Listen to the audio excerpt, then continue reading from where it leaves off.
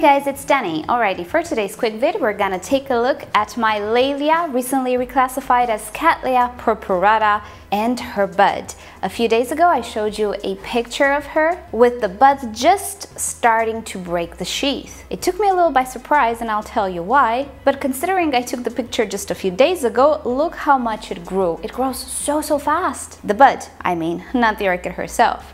So I know it looks a little weird, but this is what happens. The bud is really, really heavy and at some point it does start to flop over. It's okay. There's nothing wrong with it. So this is the entirety of my Laelia purpurata. I shall call her Cattleya just to be politically correct. This is a very large orchid. If you didn't know anything about it, well, it is one of the largest cattleyas that you can have. The pseudobulbs are pretty substantial, the leaves are pretty substantial, thank goodness she's not a bifoliate, and also the sheaths are substantial as well.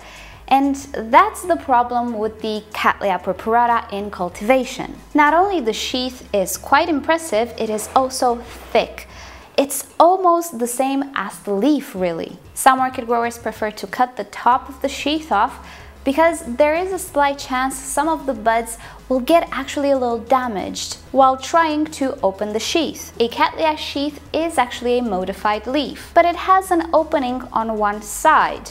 Theoretically, that opening should be pretty flexible, and it is in most cases. With the Cattleya purpurata, this sheath is just so thick, it takes a lot of energy and power for the bud to actually emerge from the sheath and free itself.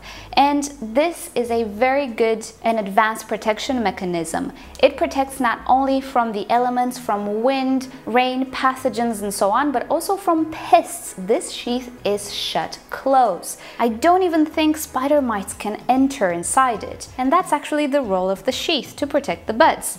So if this is her role, why does it actually sometimes damage the buds? Well, it's priorities. Even though in nature aesthetics is important to some degree, in the sense that if a flower is just so distorted that pollinators cannot even recognize it, and let's say the flower doesn't have a scent to attract pollinators, then the flower's role is pretty much useless. So aesthetics is important, but it's not as important as protection. It's better to have flowers with a little bit of damage than no flowers at all. Flowering takes just so much energy that it makes sense to develop protection mechanisms for at least the flowers to have a chance and develop. In many cases, cattleyas which don't produce sheaths end up with eaten buds or damaged or even ripped by the wind or other animals. Who knows, really? That having a sheath offers indeed a great, great advantage to some cattleyas in some parts of the world, not all of them. It really depends on your location and your environment. But for us humans, aesthetics is pretty much everything, so we do want to make sure that there is no possibility for the buds to get damaged or deformed as they're growing.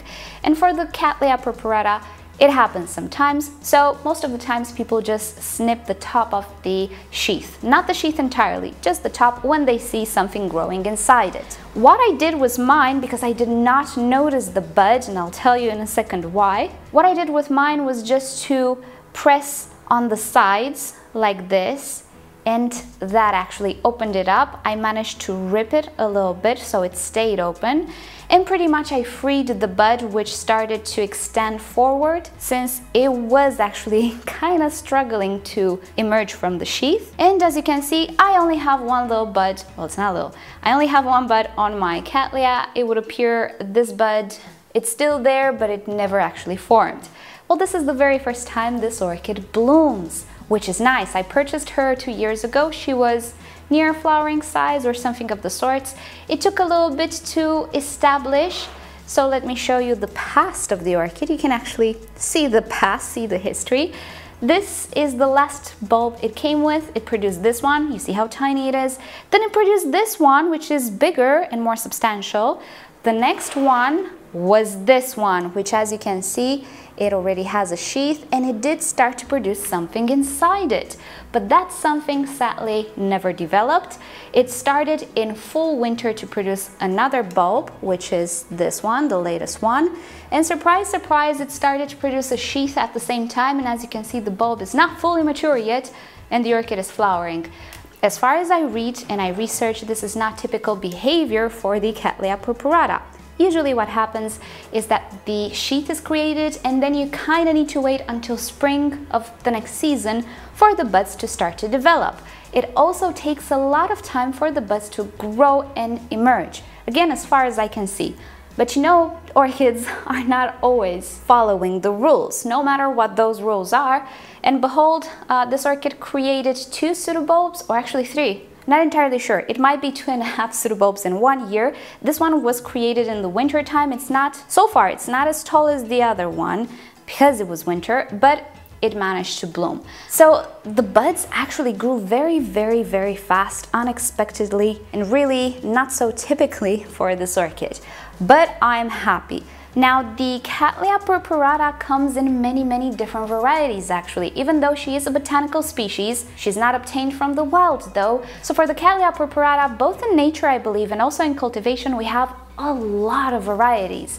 If you research a little bit this orchid, you will find purple purpurata, which is actually what the name suggests. Purpurata refers to purple, but you will also find semi-alba varieties and alba varieties. You will also find my favorite one, the Carnea variety, which is a semi-alba with a very nice coral color on the lip. You'll find a Cerulean variety, which is close to blue, and so on and so forth. You'll find quite a lot of varieties on the market with this one.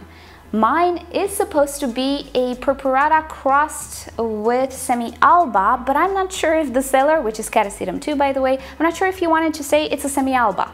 Purpurata semi-alba, but he just put a cross there. Because the bud absolutely looks like a semi-alba. I don't see any striations on the petals thus far, we shall see. What I do see though, and I'm not gonna stress the bud way too much, do you see that color? That's the lip.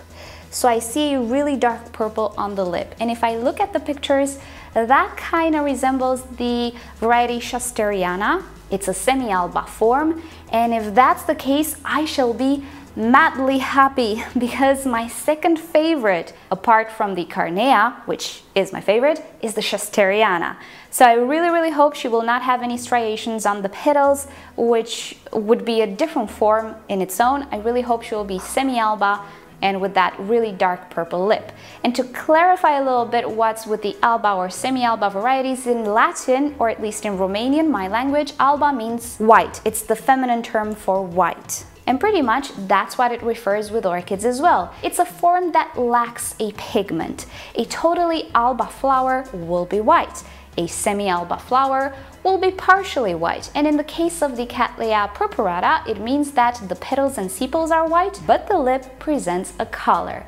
I am a person of contrast. I love white contrasts, white with something else, so you can imagine I'm very, very excited for this little girl. So even though we only have one bud and typically this orchid can produce up to three, I'm not sure if four, but two, three buds it can produce. It's the very first time it blooms, and if it will turn out to be the Schusteriana, I will be tremendously happy. So alrighty guys, this has been the video for today. Thank you so much for watching. I cannot wait for the orchid to bloom and show it to you.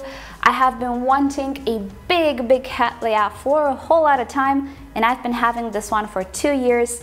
It's been through some stuff. It's been the orchid that I kept featuring when I had the root burn issue situation. She pulls through. She's just a uh, really, really vigorous grower. So alrighty, you know the drill. If you've enjoyed this video, please give it a thumbs up. If you hated it, give it a thumbs down. Subscribe to my channel for regular orchid videos and don't forget to turn on notifications so you never miss a video.